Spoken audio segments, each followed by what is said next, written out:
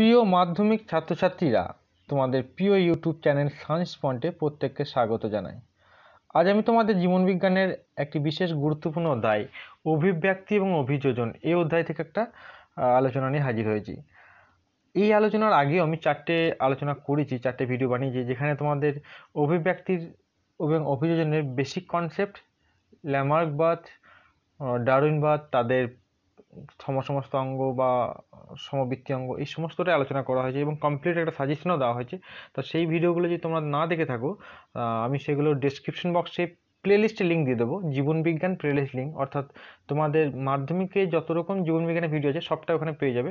তা তোমরা ওটা আগে দেখে নেবে, আমার মনে হয় সেটা বেটার হবে। আর আজকে আমি যেটা আলোচনা করব সেটা অভিযোজন সংক্রান্ত, সমস্তটা একদম ডেস্ক একদম বিস্তারিত আলোচনা করব।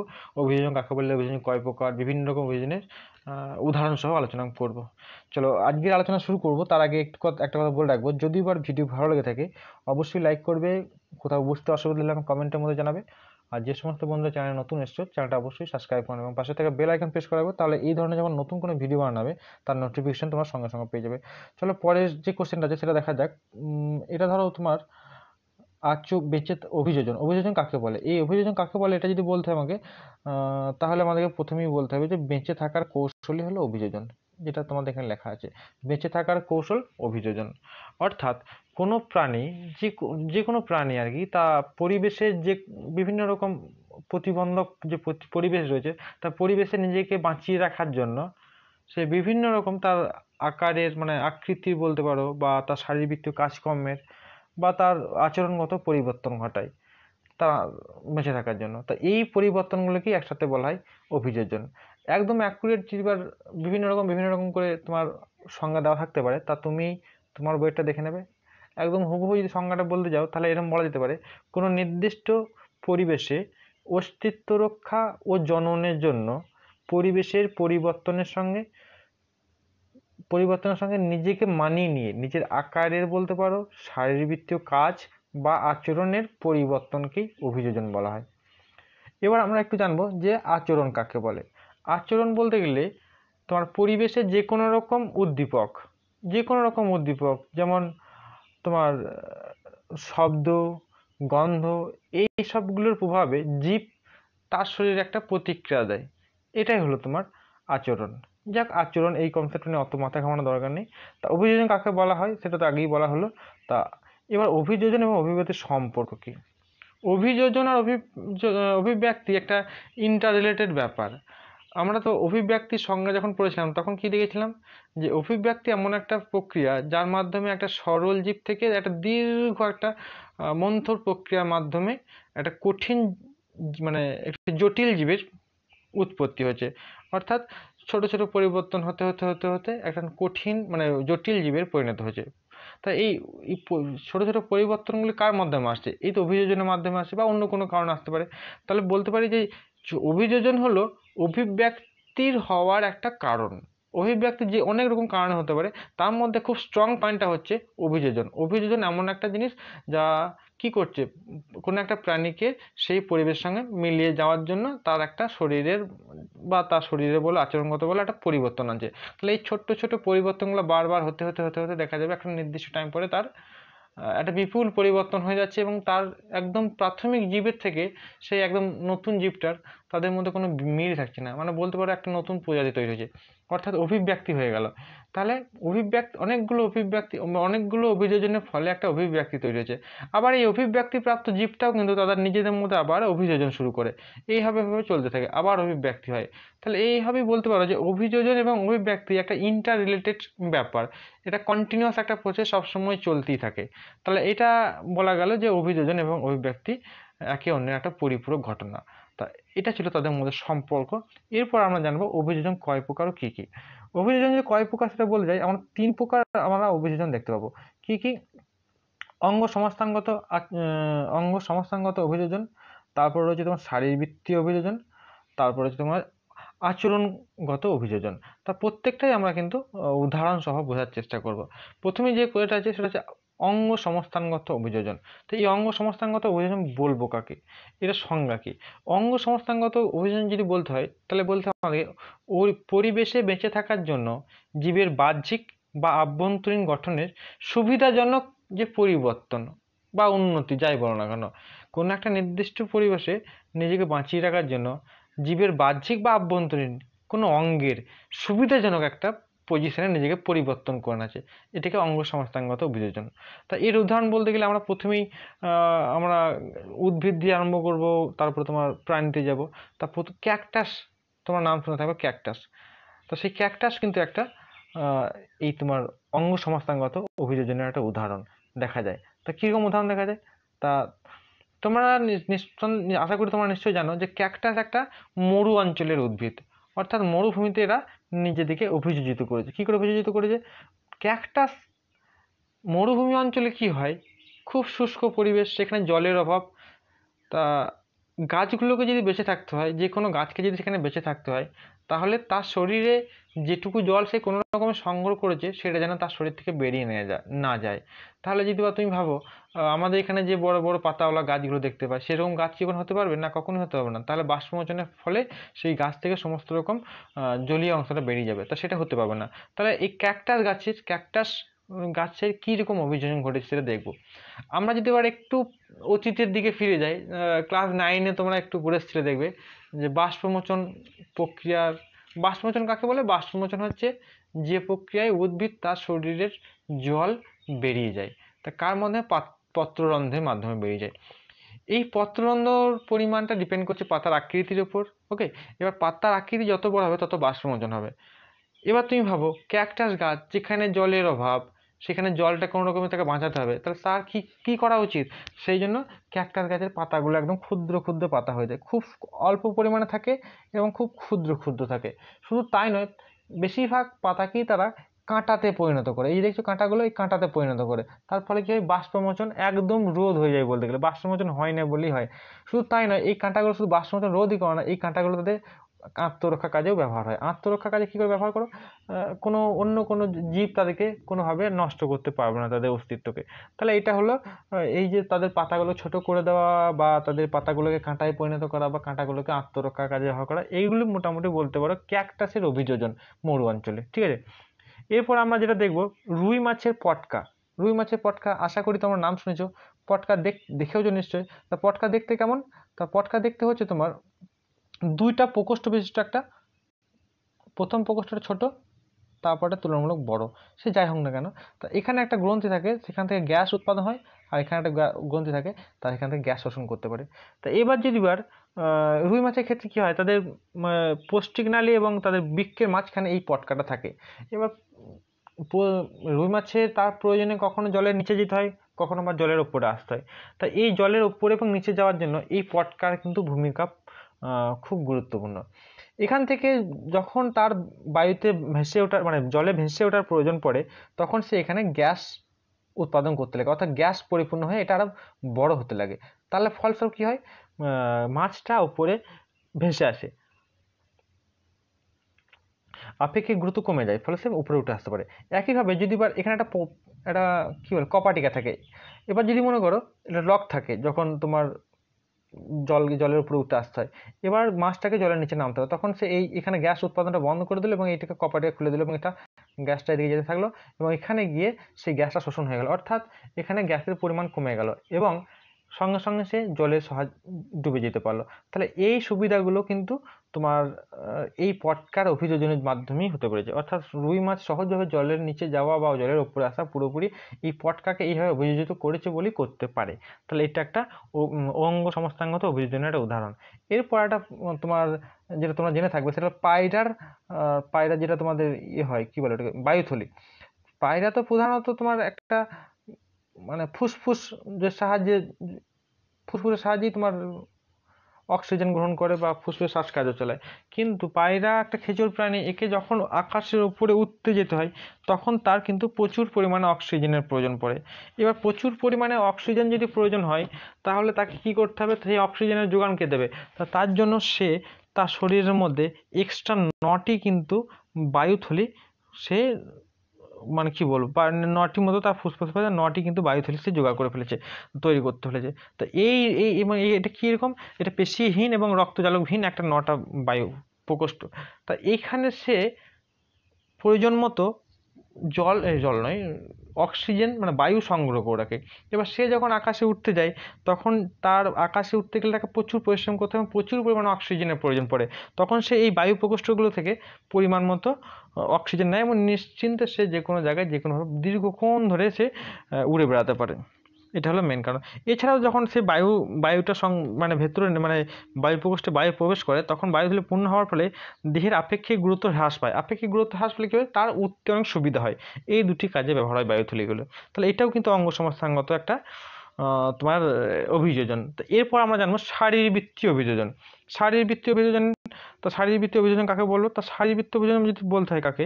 তা সেটা হলো পরিবেশে বেঁচে থাকার জন্য জীবের শারীরবৃত্তীয় যে পদ্ধতি সুবিধাজনক পদ্ধতিতে পরিবর্তন হচ্ছে। অর্থাৎ পরিবেশে বেঁচে থাকার জন্য কোনো একটা শারীরবৃত্তীয় প্রক্রিয়া, সেটাকে পরিবর্তিত করে কোনো একটা নির্দিষ্ট প্রক্রিয়া মানে অন্য কোনো একটা সুবিধাজনক প্রক্রিয়াতে কনভার্ট করে নিচ্ছে সেটাকে বলা হচ্ছে শারীরবৃত্তীয় অভিযোজন। এর জন্য আমরা যে উদাহরণটা প্রথমে দেখব, সেটা হলো সুন্দরী গাছের লবণ সহনের অভিযোজন। তো এই সুন্দরী গাছের লবণ সহ্য করা সহনের যে অভিযোজন, এখানে এইটা করার জন্য তার মোটামুটি তিন ধরনের অভিযোজন হয়। একটা মূলের অভিযোজন হয়, একটা কাণ্ডের অভিযোজন হয় আর একটা তোমার পাতার অভিযোজন হয়। এবার পরপর প্রত্যেকটা আমাদের মূলের কী অভিযোজন হয়?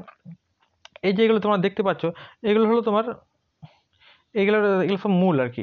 অ্যাকচুয়ালি আমাদের মূল কী হয়? মূল মাটির নিচে যায়। কিন্তু এখানে কী হয়? এটা এটা গাছ, এখানে গাছ আছে।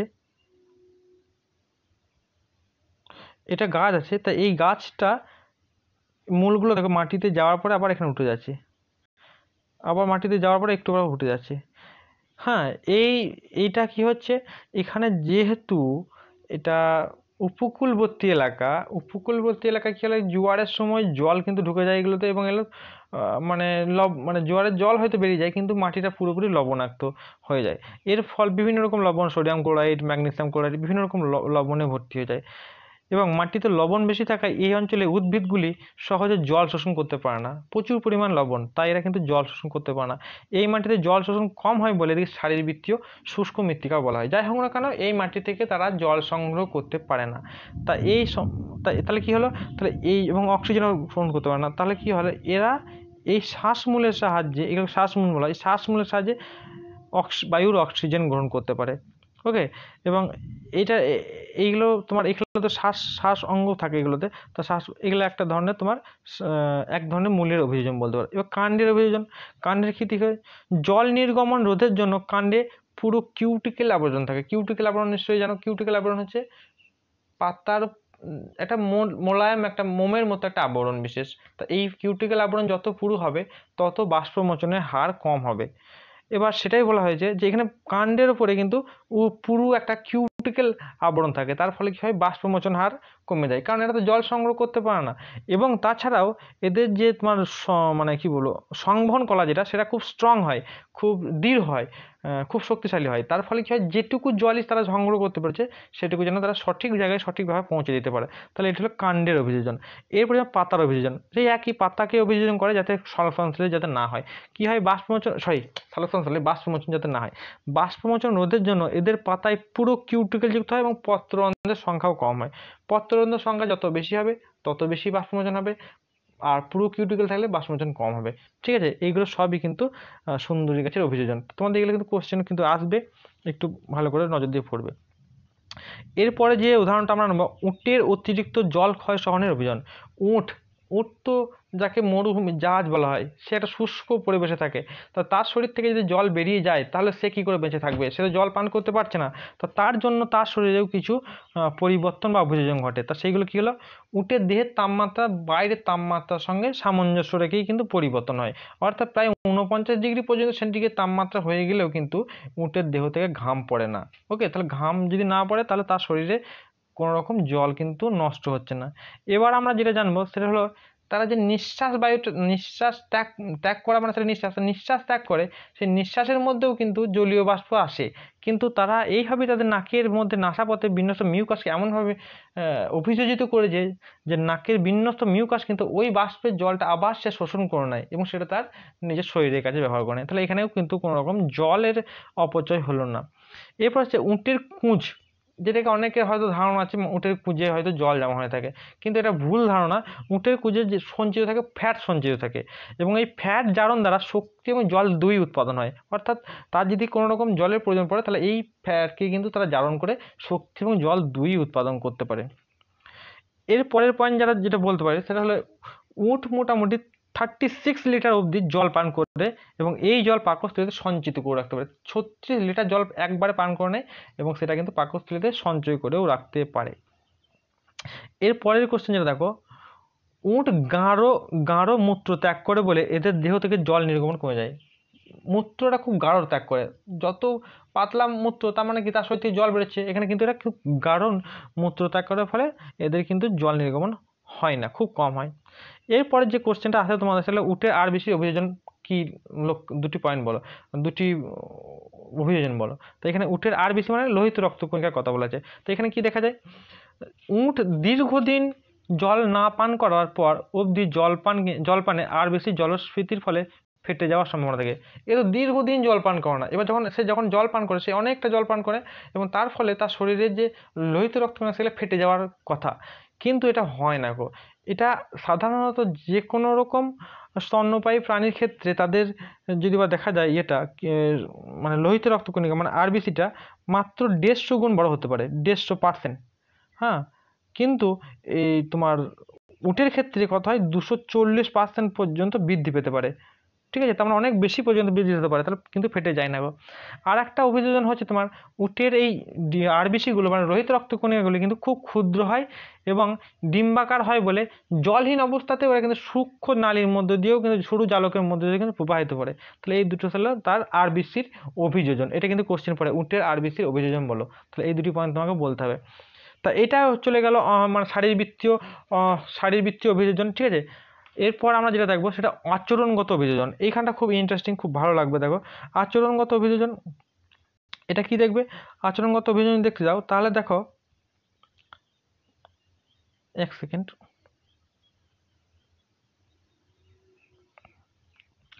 আচ্ছা কাকে বলব? আচরণগত অভিযোজন কাকে বলব? জিনগত অথবা শিক্ষণ নির্ভর যে ক্রিয়ায় দ্বারা কোনো জীব তার বেঁচে থাকা জন্ম সম্ভাবনা বৃদ্ধি করে তাকে আচরণগত, অর্থাৎ জিনগতভাবে অথবা জিনগত মানে সেটাও তো কোনো একটা শিক্ষামূলক, তুমি হয়তো শিখেছো সেটা তোমার পরবর্তী প্রজন্মতে গিয়েছে। তাহলে এটা জিনগতভাবে শিক্ষা বলো বা শিখনের উপর নির্ভর করে বলো তাদের জীবন বেঁচে থাকার কৌশলকে এবং জননের সম্ভাবনাকে বৃদ্ধি করে তাকে বলা হচ্ছে আচরণগত। তা এর এর, এই পারপাসে আমরা উদাহরণ নিতে পারি একটা প্রথম শিল্পাঞ্জি, এই ছবিটা দেওয়া আছে শিল্পাঞ্জির ছবি। শিম্পাঞ্জি যে কী করে? এর কিছু কিছু তোমার মানে আচরণগত অভিযোজন দেখা যায়। যেমন ধর, উই পোকা শিকার যখন করে, এ কী করে? উই ডান্ডি যদি দেখতে পায়, সে উঁচু উঁচু উই ডান্ডি দেখতে পায়, তাহলে কী করে? সে এইগুলোকে একটা লাঠি করে সে বা কাঠি করে, কাঠ করে সে ভেঙে ফেলে। এবং সেখানে হয় সেই কাঠটাকেই ভরে দেয়, অথবা অন্য কোনো একটা ছোটো কাঠ নিয়ে এসে ওইটার মধ্যে ভরে দেয় এবং সেইখান দিয়ে যখন উই পোকাগুলো বেরিয়ে আসতে থাকে, তখন সেগুলোকে সে ধরে ধরে খেয়ে নেয়। তাহলে এইটাকে তাহলে আচরণগত একটা মানে অভিযোজন। তাছাড়াও আশ্চর্যজনকভাবে এই শিম্পাঞ্জি এরা কিন্তু ভেষজ ঔষধের ব্যবহার জানে। মোটামুটি কুড়িটির মতো ভেষজ উদ্ভিদ আছে যারা এইগুলো তারা ব্যবহার করতে পারে। তারা যদি কোনো রকম কোনো রোগ জীবাণু দ্বারা বা কোনো তোমার পরজীবী দ্বারা আক্রান্ত হয়ে যায়, তারা কিন্তু নিজেদের ইচ্ছা মতো কিন্তু ভেষজ এই পাতাগুলো খেতে পারে। তা এটা তাদের একটা অভিযোজন মানে কি বলব, আচরণগত অভিযোজন।